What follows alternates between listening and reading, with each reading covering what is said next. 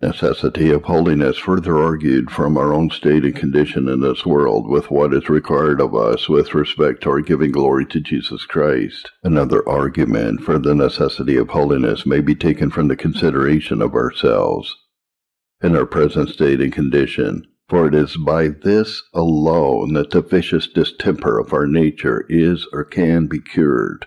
That our nature is fearfully and universally depraved by the entrance of sin, I've before declared and sufficiently confirmed, and I do not now consider it as to the disability of living to God, or enmity to him, which has come on us, nor yet as to the future punishment which it renders us liable to. But it is the present misery that is upon us by it, unless it be cured, that I intend. For the mind of man being possessed with darkness, vanity, folly and instability, the will under the power of spiritual death is stubborn and obstinate, and all the affections are carnal, sensual, and selfish, the whole soul being hurried off from God, and so out of its way, is perpetually filled with confusion and perplexing disorder. It is not unlike that description which Job gives of the grave, a land of darkness and of the shadow of death, without any order, and where the light is as darkness. Chapter 10, 21 and 22. When Solomon set himself to search out the causes of all the vanity and vexation that is in this world, of all the troubles that the life of man is filled with, he affirms that this was the sum of his discovery. God made man upright, but they have found out many inventions Ecclesiastes 7 verse 29, that is, cast themselves into endless entanglements and confusions. What is sin and its guilt? Its punishment and its power is the greatest that men are liable to in this world.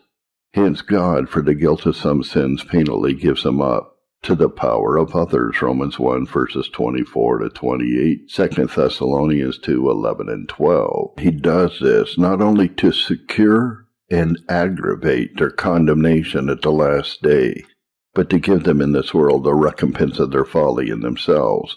For there is no greater misery nor slavery than to be under the power of sin.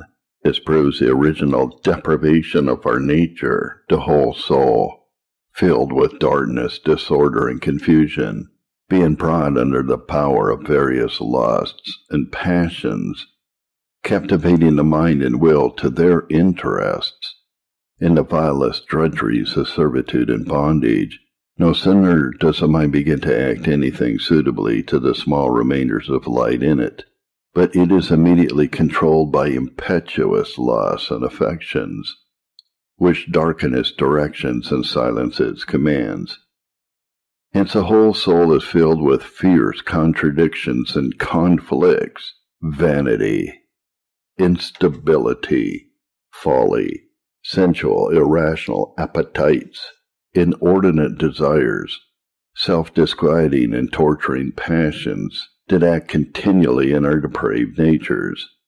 See the account of this in Romans 3 10 to 18. How full is the world of disorder, confusion, oppression, rapine, uncleanness, violence, and the like dreadful miseries. Alas, they are but a weak and imperfect representation of the evils that are in the minds of men by nature, for as they all proceed from thence, as our Savior declares in Matthew 15, 18 to 19, so the thousandth part of what is conceived in this is never brought forth and acted. From whence comes wars and fightings among you? Do they not come from your lust that war in your members.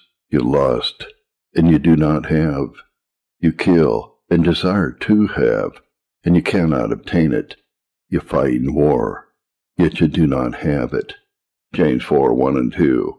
All evils proceed from the impetuous lust of the minds of men, which when they are acted to the utmost are as unsatisfied as they were at their first setting out. Hence the prophet Isaiah tells us that wicked men under the power and disorder of depraved nature are like the troubled sea when it cannot rest. whose waters cast up mire and dirt, and they have no peace. Chapter 57, 20, and 21. The heart is in continual motion. It's restless in its figments and imaginations as the waters of the sea when it is stormy and troubled, and they are all evil, only evil, continually. Genesis 6 verse 5. And this does it cast up mire and dirt, and those who seem to have the greatest advantages above others, in power and opportunity to give satisfaction to their lusts, do but increase their own disquietness and miseries. Psalm 69 verse 14. For as these things are evil in themselves and to others, so they are penal to those in whom they are, especially in whom they abound and reign. And if their breasts were opened, it would appear by the confusion and horror they live in that they are on the very confines of hell. Hence is the life of man full of vanity, trouble, disappointments, vexations, and endless self dissatisfactions, which those who were wise among the heathen saw they complained of it and attempted in vain to relieve. All these things proceed from the deprivation of our nature and the disorder that has come upon us by sin. And as as if they are not cured and healed, they will assuredly issue in everlasting misery. So they are woeful and calamitous at present. True peace, rest, and tranquility of mind are strangers to such souls. Alas, what are the perishing profits, pleasures, and satisfactions by them which this world can afford? How unable is the mind of man to find out rest and peace in them, or from them? They quickly satiate and suffocate in their enjoyment, and become to have no relish in their varieties, which only heighten present vanity and treasure up provision for future vexation we have, therefore, no greater interest in the world than to inquire how this disorder may be cured, and a stop put to this fountain of all abominations. What we intend will be cleared in the ensuing observations. 1. It is true that some are naturally of a more sedate and quiet temper and disposition than others are. They don't fall into such outrages and excesses of outward sins as others do Nay, their minds are not capable of such turbulent passions and affections as the most are possessed with. These people comparatively are peaceable and useful to their relations and others, but yet their minds and hearts are full of darkness and disorder, for so it is with all by nature, who have not an almighty effectual cure wrought upon them, and the less troublesome waves they have on the surface, the more mire and dirt oftentimes they have at the bottom. Number two, education. Convictions, afflictions, illuminations, hope to obtain a righteousness of their own, love of their reputation, engagements in the society of good men, their resolutions for secular ends, with other means of the like kind, often put great restraints on the actings and ebullitions of the evil imaginations and turbulent affections of the minds of men. Yea, the frame of the mind, in the course of the life, may be much changed by them. How, wherein, and how far is not our present business to declare. Number three, notwithstanding all that may be effected by these means, or any other of like nature. The disease is uncured. The soul continues still in its disorder and in all inward confusion. For our original order, harmony, and rectitude consisted in the powers and inclinations of our minds, wills, and affections to regular actings toward God as our end and reward. Hence proceeded all that order and peace which were in all their faculties and their actings. While we continue in due order towards God, it was impossible that we should be otherwise in ourselves. By being by sin fallen off from God, having lost our conformity and likeness to Him, we fell into all the confusion and disorder before described. Therefore, the only cure and remedy of this evil condition is by holiness, for it must be, and can be no otherwise, but by the renovation of the image of God in us. For from the loss of this, all the evil mentioned spring and arise. By this are our souls in some measure restored to their primitive order and rectitude. Without this, attends for inward peace, real tranquility of mind with due order in our affections, will be in vain attempted. It is the holy soul, the sanctified mind alone that is composed into an orderly tendency towards the enjoyment of God. That which we aim at is what we are directed to by our apostle in Ephesians 4 22 to 24. Our deliverance from the power of corrupt and deceitful lusts, which are the spring and cause of all the confusion mentioned, is by the renovation of the image of God in us, and no otherwise. And hence, to all persons not in love with their lusts and ruin, arises a cogent argument and motive to holiness but a number of things may be objected to this. This first, that we do admit to maintain that in all sanctified persons there are yet certain remainders of our original deprivation and disorder. Sin still abides in believers, yea, that it works powerfully and effectually in them, leading them captive to the law of sin.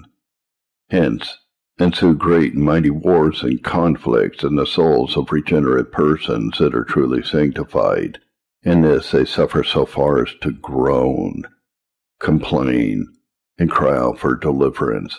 The flesh lusts against the spirit, and the spirit against the flesh, and these are contrary. Therefore it does not appear that this holiness so heals and cures the sinful distempers of our minds. On the other side, men suppose as yet under the power of sin, who have not that grace and holiness and the renovation of the image of God which is pleaded for, seem to have more peace and quietness in their minds. They have not that inward conflict which others complain of, nor those groans for deliverance. Yea, they find satisfactions in their lusts and pleasures, believing themselves by them against anything that occasions their trouble. Answer. Number one, it's for that peace and order which is pretended to be in the minds of men under the power of sin, and not sanctified. It is like that which is in hell in the kingdom of darkness. Satan is not divided against himself, nor is there such a confusion and disorder in his kingdom as to destroy it. But it has a consistency from the common end of all that is in it, which is in opposition to God and all that is good. Such a peace and order there may be in an unsanctified mind, there being no active principle in it for God and that which is spiritually good. All works one way, and all its troubled streams have the same course. But yet, they continually cast up mire and dirt. There is only that peace in such minds which a strong man armed, that is, Satan keeps his goods in until a stronger than he comes to bind him. And if anyone think to peace and order to be sufficient for him, in which his mind and all of its faculties acts uniformly against God, or for self, sin in the world, without any opposition or contradiction, he may find as much in hell when he comes there. Number two, there is a difference between a confusion and a rebellion. Where confusion is in a state, all rule or government is dissolved, and everyone is let loose to the utmost disorder and evil. But where the rule is firm and stable, there may be rebellions that may give some parts and places disturbance and damage, but yet the whole state is not disordered by it. So is it in the condition of a sanctified soul on account of the remainders of sin. There may be rebellion in it, but there is no confusion. Grace keeps a rule in the mind and heart firm and stable, so that there is peace and assurance to the whole state of the person, though loss and corruptions will be rebelling and warring against it. The divine order, therefore, of the soul consisting in the rule of grace, subordinating all to God and Christ, is never overthrown by the rebellion of sin at any time, be it never so vigorous or prevalent.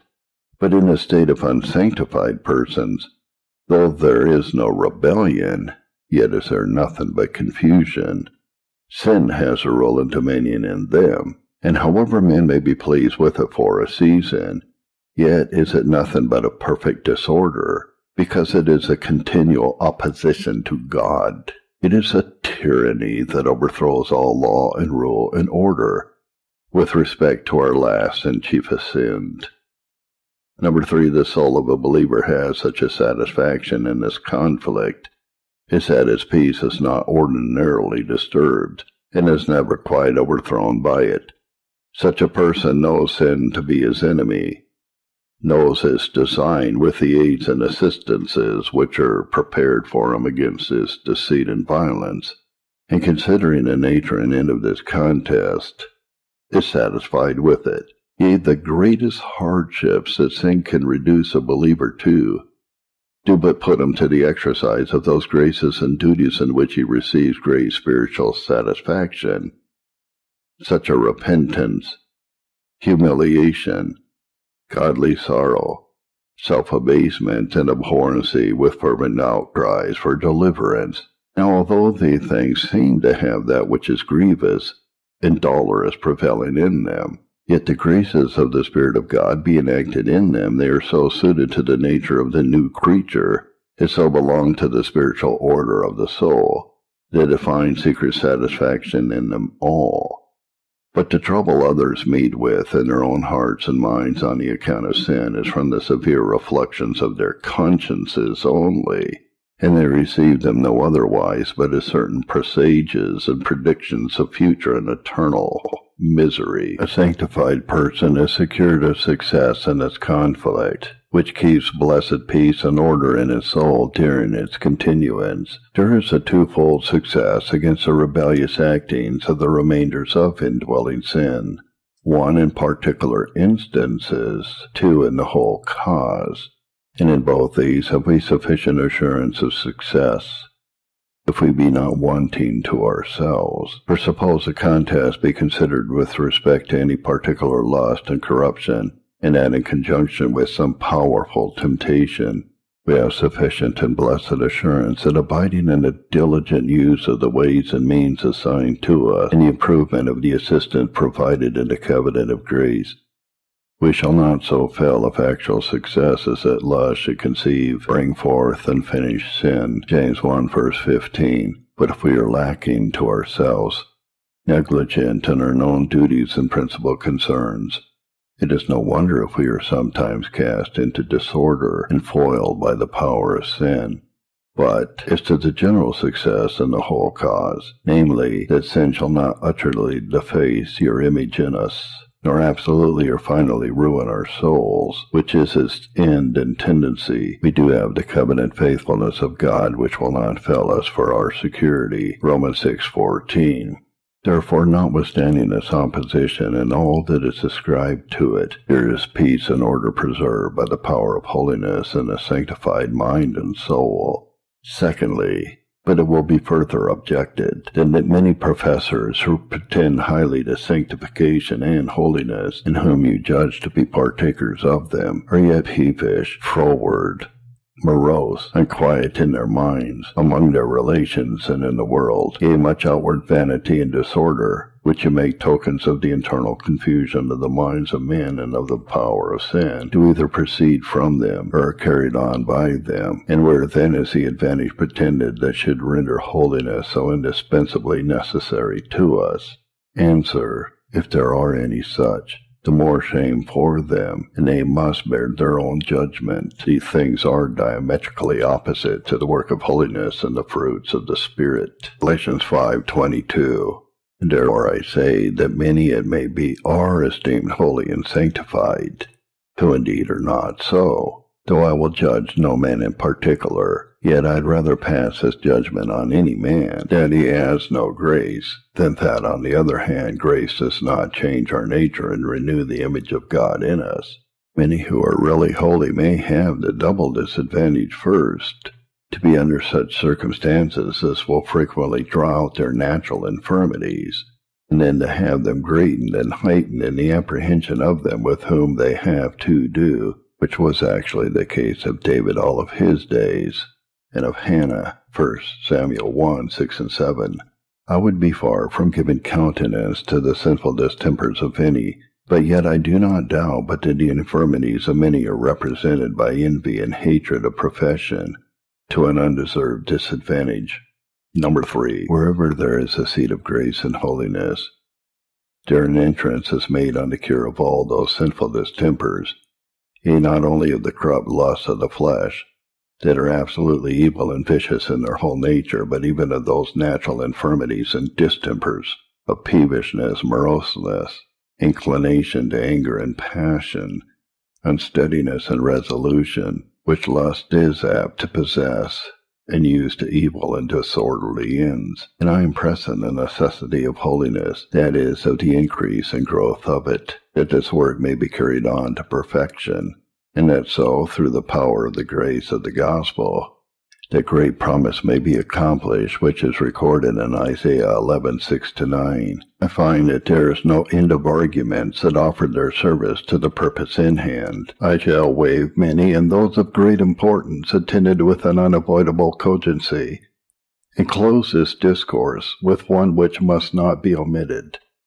In our holiness consists a principal part of that revenue of glory and honor which the Lord Christ requires and expects from his disciples in the world. That he does require this indispensably of us is out of question amongst us, although the most who are called Christians live as if they had no other design but to cast all obliques, reproach, and shame on him and his doctrine. But if we are indeed his disciples, he has bought us with a price, and we are not our own, but his and that to glorify him in soul and body because they are his. He died for us that we should not live to ourselves, but to him that so died for us, and by virtue of whose death we live. He gave himself for us that he might redeem us from all iniquity and purify to himself a peculiar people, zealous of good works. But we need not insist on this. To deny that we ought to glorify and honor Christ in the world is to renounce him and the gospel. The sole inquiry is how we may do so and what he requires of us to that purpose. Now, the sum of all that the Lord Christ expects from us in this world may be reduced to these two heads. One, that we should live holily to him. Two, that we should suffer patiently for him. And in these things alone is he glorified by us. The first he expects at all times and in all things. The latter on particular occasions as we are called by him to that end. Where Worthy things are, where this revenue of glory is paid in and returned to him. He does not repent of his purchase, nor of the invaluable price he has paid for us. Yea, in fact, says, The lines are fallen to me in pleasant places. Yea, I have a goodly heritage which are the words of Christ concerning the church, which is his lot and the portion of his inheritance. Now, amongst many others, we shall consider but one way in which we glorify the Lord Christ by our holy obedience, and whence also it will appear how much we dishonor and reproach him when we come short of this. The Lord Christ, coming into the world, is a mediator between God and man, wrought and accomplished a mighty work amongst us, and what he did may be referred to three heads. One, the life which he led, two, the doctrine which he taught, and three, the death which he underwent. Concerning all these, there ever was a great contest in the world, and it is yet continued. And on that part of the world it is managed under a double appearance. For some openly have traduced his life as unholy, his doctrine is foolish, and his death is justly deserved, which was the sense of the pagan world and the apostate judicial church of old, as it is of many at this day.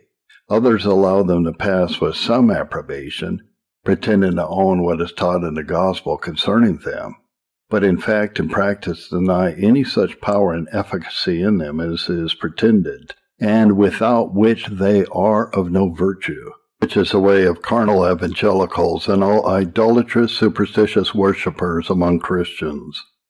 And of late there is risen up amongst us a generation who esteem all that is spoken concerning him to be a mere fable. In opposition to this, The Lord Christ calls us, his true disciples, to bear witness and testimony to the holiness of his life, the wisdom and purity of his doctrine, the efficacy of his death to expiate sin, to make atonement and peace with God, with the power of his whole mediation to renew the image of God in us, to restore us to his favor, and to bring us to the enjoyment of him. This he calls us, his disciples, to avow to and express in the world, and by their so doing is he glorified, and no otherwise, in a peculiar manner. A testimony is to be given to and against the world, that his life was most holy, his doctrine most heavenly and pure, his death most precious and efficacious, and consequently that he was sent of God to his great work, and was accepted of him in it. Now all this is no otherwise done but by our obedience to him in holiness, as it is visible and fruitful. For we are obliged to profess that the life of Christ is our example. This in the first place we are called to, and every Christian does virtually make that profession.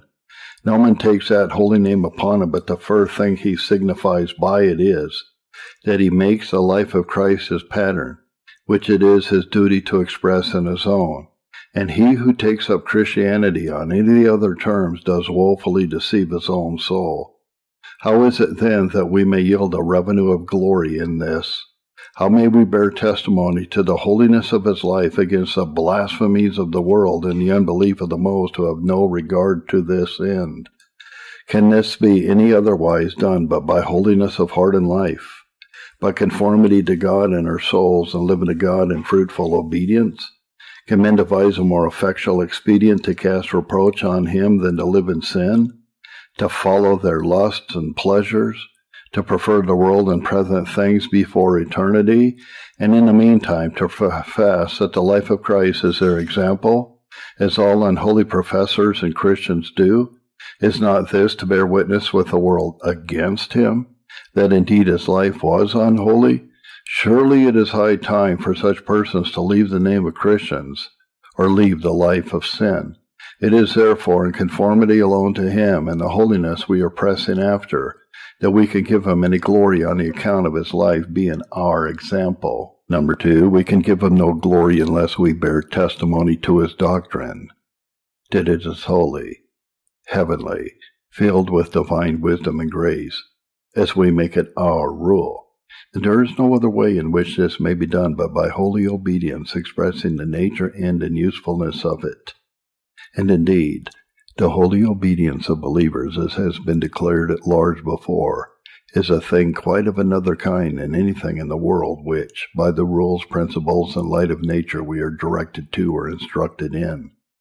It is spiritual, heavenly, mysterious, filled with principles and actings of the same kind with those whereby our communion with God in glory to eternity shall be maintained. Now, although the life of evangelical holiness be in its principle, form, and chief acting secret and hidden, hidden with Christ and God from the eyes of the world, so that the men thereof neither see nor know nor discern the spiritual life of a believer in its being, form, and power, Yet there are always such evident appearing fruits of it as are sufficient for their conviction that the rule of it, which is the doctrine of Christ alone, is holy, wise, and heavenly. And multitudes in all ages have been won over to the obedience of the gospel and faith in Christ Jesus by the holy, fruitful, useful conversation of such as have expressed the power and purity of his doctrine in this kind. Number three, the power and efficacy of the death of Christ is for other ends, so to purify us from all iniquity, and to purge our conscience from dead works that we may serve the living God, is herein also required. The world indeed sometimes rises to that height of pride and contemptuous atheism as to despise all appearance and profession of purity. But the truth is, if we are not cleansed from our sins in the blood of Christ, if we are not thereby purified from iniquity, we are an abomination to God and shall be objects of his wrath forever. However, the Lord Christ requires no more of his disciples in this manner to his glory, but that they profess that his blood cleanses them from their sins, and evidence the truth of it by such ways and means as the gospel has appointed to that end. If their testimony herein to the efficacy of his death be not received, be despised by the world, and so at present no apparent glory redound to him by it. He is satisfied with it as knowing that the day is coming in which he will call over to thee things again, when the rejecting of this testimony shall be an aggravation of condemnation to the unbelieving world. I suppose the evidence of this last argument is plain, and exposed to all. It is briefly this. Without the holiness prescribed in the gospel, we give nothing of that glory to Jesus Christ which he indispensably requires. And if men will be so sottishly foolish as to expect the greatest benefits and advantages by the mediation of Christ, namely pardon of sin, salvation, life, and immortality, while they neglect and refuse to give him any revenue of glory for all he has done for them, we may bewail their folly, but cannot prevent their ruin. He saves us freely by His grace, but He requires that we should express a sense of it and ascribe unto Him the glory that is His due. And let no man think this is done in wordy expressions. It is no otherwise effected but by the power of a holy conversation, showing forth the praises of Him who has called us out of darkness into His marvelous light. Nay, there is more in it also.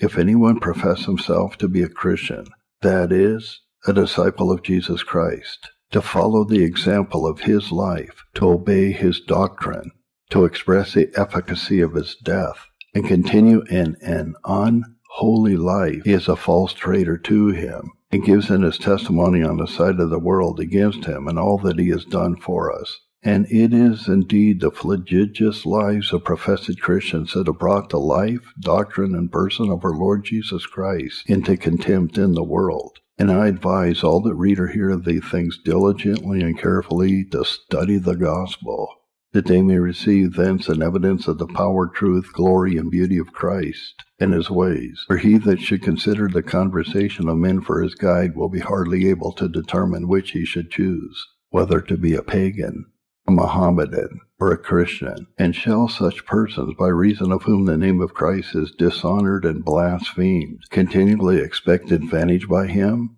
or mercy from him? Will men think to live in sensuality, pride, ambition, covetousness, malice, revenge, hatred of all good men, and contempt of purity, and yet to enjoy life, immortality, and glory by Christ? Who can sufficiently bewail the dreadful effects of such a horrid infatuation? God teach us all duly to consider that all the glory and honor of Jesus Christ in the world, with respect to us, depends on our holiness, and not on any other thing either that we are, have, or may do. If therefore we have any love to him, any spark of gratitude for his unspeakable love, grace, condescension, sufferings, with the eternal fruits of them, any care about or desire of his glory and honor in the world, if we would not be found the most hateful traitors at the last day to his crown honor and dignity, if we have any expectation of grace from him, or advantage by him here or hereafter, let us labor to be holy in all manner of conversation, that we may thereby adorn his doctrine, express his virtue and praises, and grow up into conformity and likeness to him who is the firstborn, an image of the invisible God.